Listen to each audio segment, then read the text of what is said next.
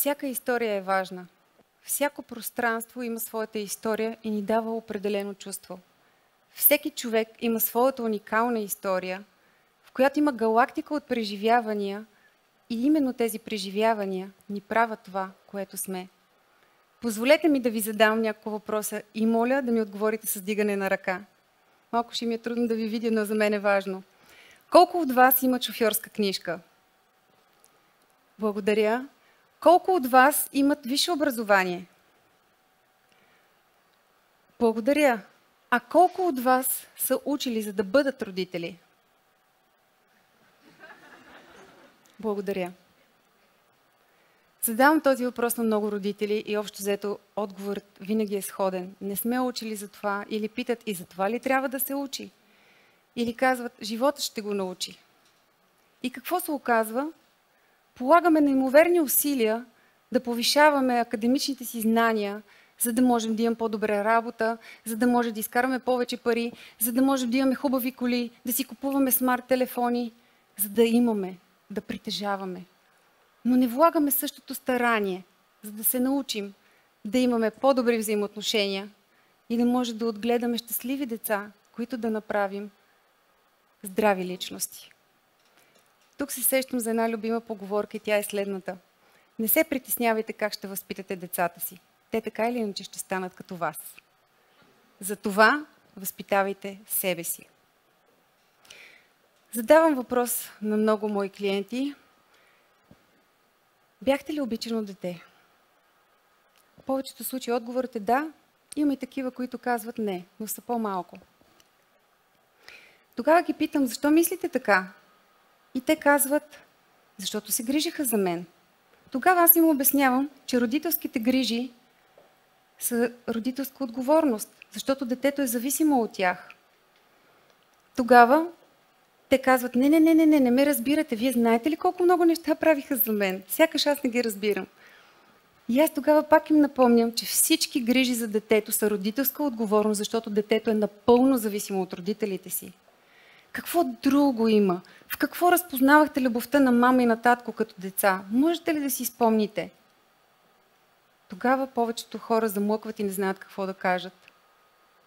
Помагам с въпроси. Казаха ли ви, че ви обичат? Гушкаха ли ви? Целуваха ли ви за лека нож? Уважаваха ли чувствата ви? Как ви се караха? С уважение и търпение? Или с гняв и с агресия ви наказваха, унижаваха? Тогава погледът се променя и хората осъзнават, че родителската грижа е отговорност, а отношението е любов. Всеки родител се старае да даде на детето си храна, подслон, добро образование, купуват им разни неща, водат ги на красиви места. Но колко родители се замислят и правите ли разлика между това, което родителите правят за децата и начина по който се държат към децата? Ето за това е важно да повишим емоционалната си интелигентност. Емоционалната интелигентност не е просто модерен израз. Емоционалната интелигентност е задължително условие за здраве и добри човешки взаимоотношения. Всеки родител иска да даде най-доброто на детето си. Но дали е така? Аз имам щастието да се родя в семейство, което ме дари с любов и ценности. Моята майка има сестра, която има три деца. Аз имам брат и пете деца израснахме сплутени. Заедно всяка година се събираме за коледа. Преди години бях в началото на връзка, когато споделих на моя приятел колко се вълнувам от предстоящия празник, за това, че се събираме всички заедно. Той ме погледна с любопитство и каза, за мен е ден като ден, на който хората се събират и се хранят заедно. Аз тогава не го разбрах. Събрахме се, дойде коледа, започнаха игри, смях, веселба, танци. В един момент той излезна навън и аз отидох и го попитах какво има. И той каза, тъжно. Не знаех, че това наистина съществува. Мислих, че го има само по филмите. Замислих се защо ли се чувства така.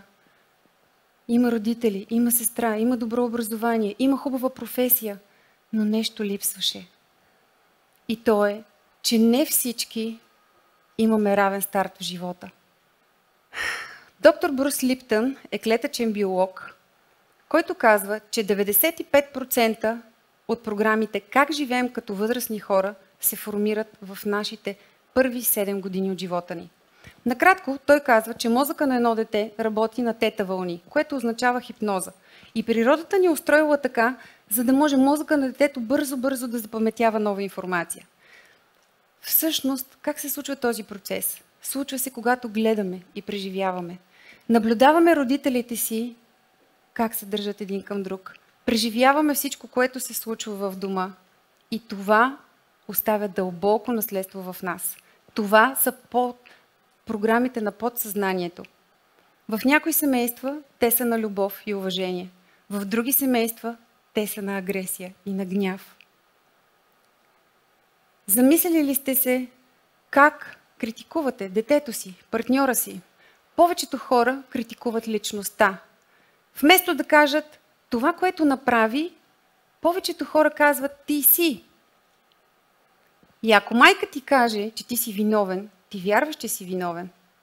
Ако баща ти каже, че си глупак, ти вярваш, че си глупак. Детето няма собствена гледна точка, за да може да прецени кое е правилно или не. То вярва на всичко, което родителите му кажат и покажат. Ако си виждал насилие, ставаш насилник. Ако си виждал агресия, агресия. Ако са те манипулирали, манипулираш и ти. Ако майка ти и баща ти не могат да се свържат като партньори и ги е страх, и теб ще те е страх. Ако баща ти не уважава майка ти, ти няма да уважава жена си. Ако се чудите, защо един човек е такъв, какъвто е, погледнете живота му като дете. Поведението на възрастния човек е повторение на наученото и преживяното от детството. Всеки ден срещаме хора, които са с комплекси за малоценност, груби и агресивни. И всъщност те са такива, защото не са получили достатъчно любов. Защото са били отхвърлени, манипулирани, лъгани, предавани и всеки ден са ги наранявали емоционално отново и отново. Ето за това човек е такъв какъвто е.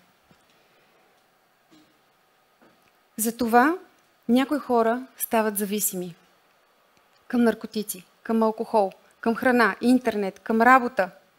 Стават зависими, защото ги боли. Опитват се да избягат от болката, но за малко. Габор Мате, лекар от Ванкувър, казва така. Правилният въпрос не е защо има зависимост и защо някой става зависим. Правилният въпрос е защо има болка. Когато едно дете не получава емоционална близост, когато родителите се карат, крещят и се бият в къщи, детето го боли. Емоционалната болка е също толкова силна, колкото физическата болка. И това е така, защото и емоционалната и физическата болка се активират в един и същи дял на мозъка. Спомнете си това, преди да нараните някой човек емоционално. Емоционално незрелите родители дават му гъщо послание към децата си и то е Твоите чувства нямат значение за мен. Аз съм важен. И по този начин детето се научава да отговаря на очакванията на родителите, защото всяко дете иска мама и татко да бъдат щастливи. По този начин те не живеят собствения си живот. Те живеят живота на родителите. Често на теория всички хора знаят, че не е хубаво на детето да се говорят лоши неща. И всеки родител се старае да се грижи за детето и да му казва хубави неща, но когато родителят е ядосан, казват това, което това, което казваш, не е хубаво, ти си недостоен, ти не си добър, ще ти изоставя, не те обичам. Това наранява децата. И често тези думи са на хора, които са добре образовани. И тук идва въпросът, кое е по-важно? Емоционалната интелигентност или академичната интелигентност? Най-важното нещо и правилният отговор тук е, че всеки родител има отговорност да даде емоционално възпитание на децата си. Малко хора правят разлика между емоционална и академична интелигентност. Все още хората си мислят, че когато си много умен и имаш много дипломи, ти си много интелигентен. Да, ти си интелигентен, но твоето IQ е високо. Всъщност емоциите се зараждат в нас за части от секундата, още преди да можем рационално да помислим за тях. И начинът по който ние отговаряме на тези емоции, това е емоционалната интелигентност. Коефициента на интелигентност е това какво казваме, а емоционалната интелигентност е как го казваме. Да познаваме емоциите, нашите и тези на другите, е най-дълбоката материя за емоционалната интелигентност. Защото невербалната комуникация е в пъти по-силно от вербалната комуникация. Да, разбира се, че е важно това, което казваме. Думите са важни. Но много по-важно е как ги казваме. Нека обясня. Чарлз Дарвин е първият, който изследвал концепцията за емоциите върху лицето. Доктор Пол Екман е довършил неговото дело с над 40 години научни изследвания във всички краища по света и той доказва, че има 7 универсални емоции на лицето. Слепите хора още от раждането правят същите лицеви изражения, когато изпитват определена емоция, както зрящите хора. Тези седем универсални емоции са изненада, страх, гняв, отвращение, презрение, тъга, щастие. Те биват няколко вида – микро, макро и финни. Макроизраженията са тези, които ние осъзнаваме, че правим и не ги крием. Финните са тези, които ние осъзнаваме, че изпитваме, но не искаме да покажем, опитваме се да скрием. Микроизраженията са тези, които ние не осъзнаваме, че правим.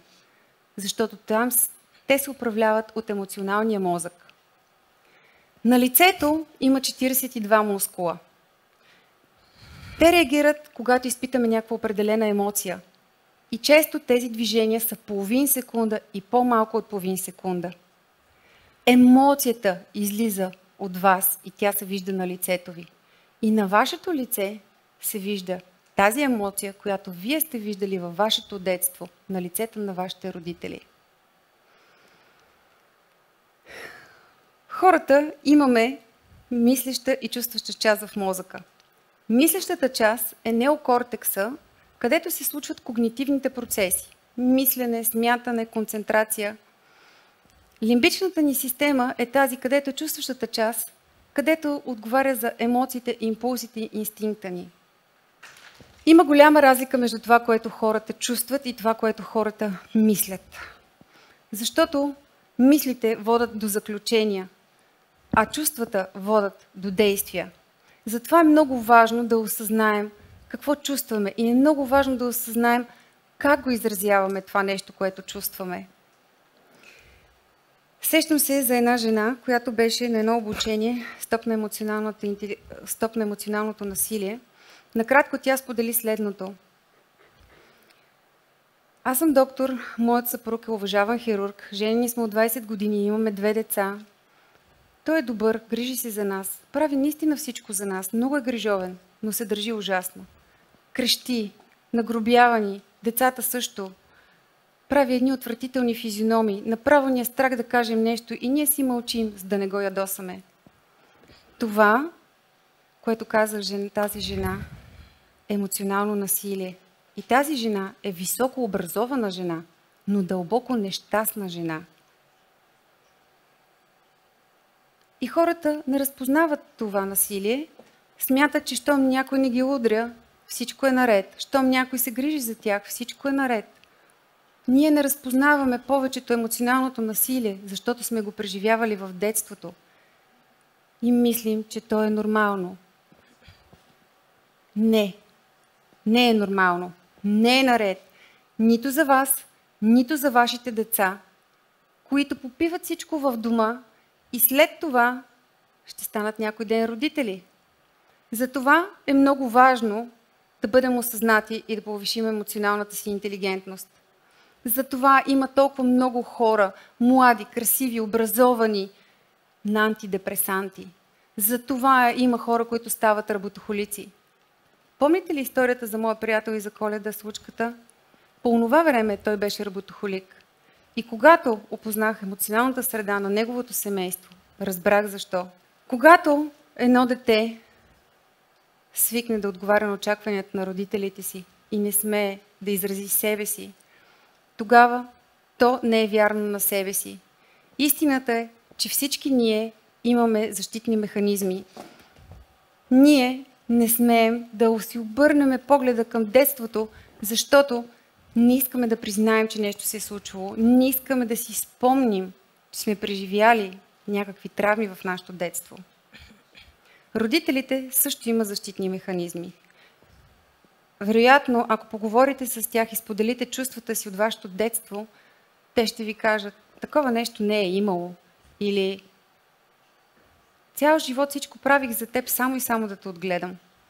И вместо да получите разбиране за вашите емоции, за вашите чувства, отново ще получите отхвърляне и отново вие ще живеете живота на вашия родител, а не на вас.